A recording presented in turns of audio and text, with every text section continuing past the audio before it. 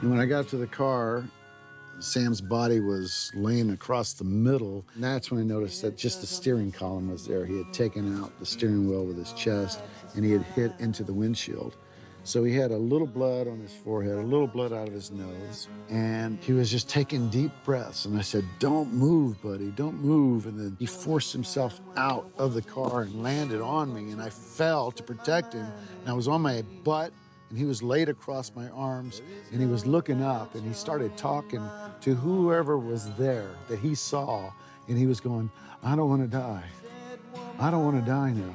And I, I, said, You're not going to die, man. I got you. And then it dawned on me that he wasn't there, that he was seeing somebody. He goes, I don't want to die now. But why now?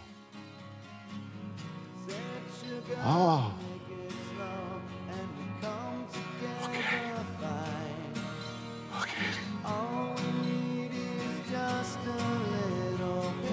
He just took off.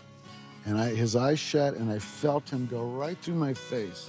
But it wasn't until someone came up and, and shook me and said, How's he doing? And then I realized that he's gone. He's gone. And after that, then time turned back into time. It was normal, the car noises, everything quit.